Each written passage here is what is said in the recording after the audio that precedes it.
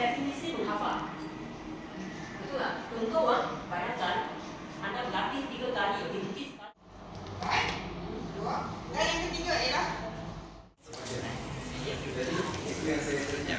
Asal mengikuti yang saya katakan. Kita cuba yang pertama yang saya. Eh, kenapa dia tidak itu sebab orang dewasa biasanya lebih berani.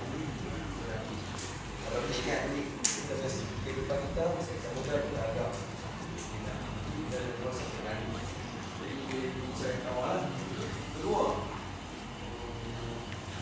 kes kedalaman orang dewasa uh, uh, salah satu kedalaman di dewasa. Jadi orang dewasa dalaman dia ada yang tak kuat.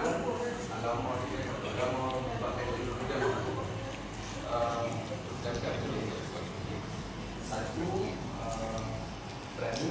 Kedua, yang kurang. Betul? Dan ketiga, faktor faktor yang paling jelas adalah